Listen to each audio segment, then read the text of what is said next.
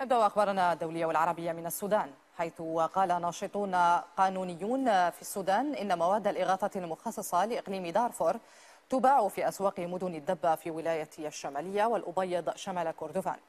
دعا بيان رابطة محامي دارفور أو بيان لرابطة محامي دارفور المنظمات الدولية إلى التحقيق في هذا الأمر. إلى قمة الاهتمام الدولي تصعد الفاشر عاصمة ولاية شمال دارفور مجددا. الحصار الطويل على المدينة والتحشيد العالي جعلا أعضاء مؤثرين في الأمم المتحدة ومجلس الأمن يعيدون تسليط الضوء على الأوضاع في السودان وعلى الفاشر بالتحديد. يجتمع مجلس الأمن الدولي اليوم بشأن الفاجر فالمدينة على شفا مذبحة إذ تخطط قوات الدعم السريع لمهاجمتها.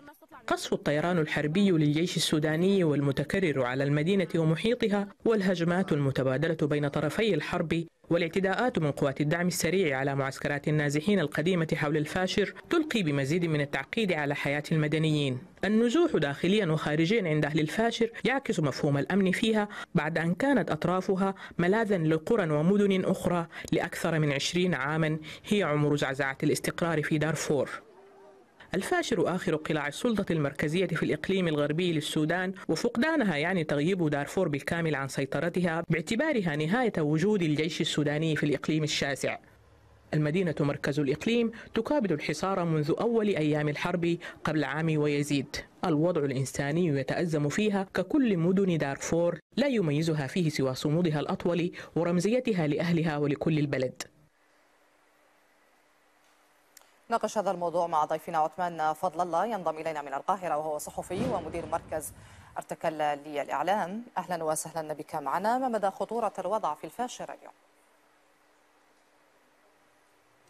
مرحبا بك ومرحبا بمشاهدي القناة. أعتقد إنه الفاشر الفاشر ظلت محل نزاع منذ اندلاع الحرب في 15 أبريل 23 باعتبارها هي المركز الأساسي لإقليم دارفور وهي مدينة من المدن الأساسية والرئيسية في البلد بشكل عام. أضف لأن الفاشل بتكتسب أهميتها من إنها هي مركز سلطة دارفور اللي بيسيطر عليه أو قوامه هي الحركات المسلحة الموقعة على اتفاق سلام جوبا وهي في معظمها بتنتمي لإثنية تسمى بين معقوفتين اللي هي إثنية الزرقاء وهي ظلت على صراع تاريخي مع عرب دارفور اللي بيمثلهم حاليا إنجاز التعبير الدعم السريع. وبالتالي ظلت الشعب السوداني بشكل عام يضع يعني يده على قلبه من نشوب أي نزاع في الفاشر باعتباره سيعيد دارفور إلى سيرة العام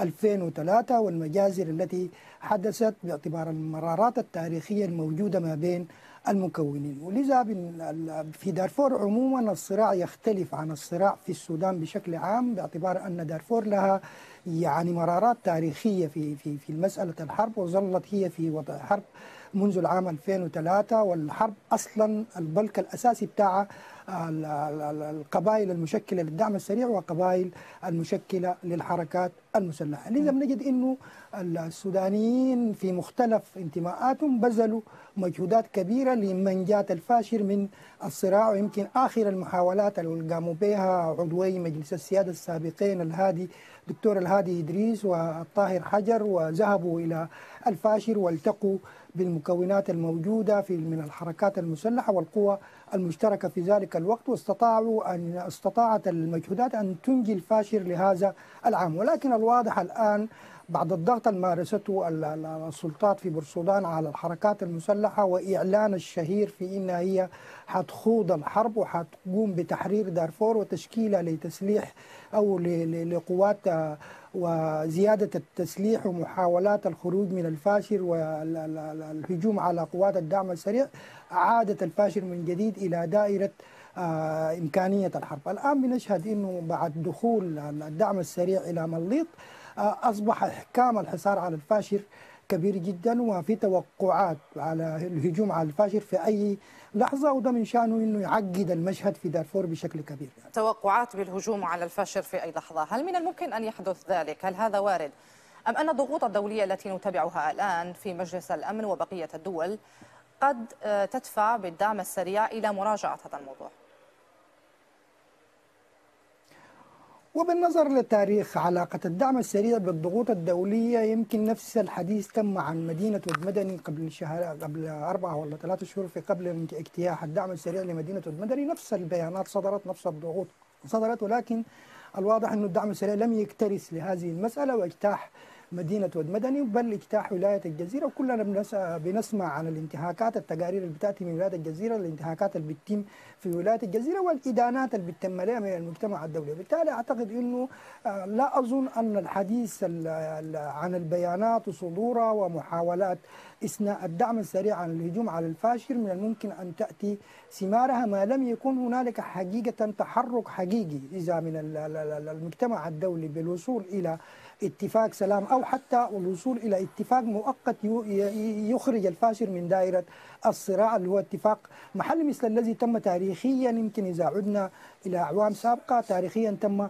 في جبال النوبة وكان قادته في الوقت ذاك ما بين الحركة الشعبية والجيش السوداني أعتقد أنها دولة ألمانيا في هذه الاتفاقات من الممكن تتم ولكن صدور بيانات وحديث عن إدانات وتحذير من المجتمع الدولي أعتقد أنه لا يمكن أن ينجي الفاشل وخاصة التحشيد التم يمكن إذا تابعنا التحشيد التم والحصار التم للفاشل اللي هو تحشيد ضخم جدا واضح إنه الدعم السريع أعد نفسه لمعركة فاصلة في مدينة الفاشر وباحتلاله لمليط يصبح من السهولة بمكان بالنسبة لقوات الدعم السريع إنها تدخل الفاشر وده محفز الدعم السريع لأنه يعني إذا شاهدنا العمليات خلال الفترة اللي فاتت بنجد إنه الدعم السريع خسر كثير من المواقع.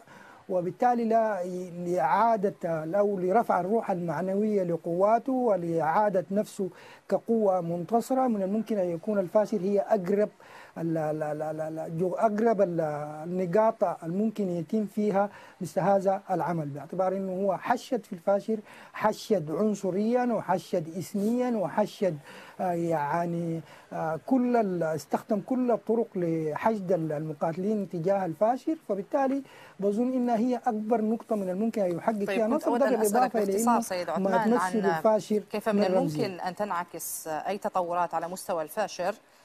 كيف ستنعكس على المواجهة ربما الأكبر والأهم التي تدور اليوم في السودان بين الجيش وقوات الدعم السريع.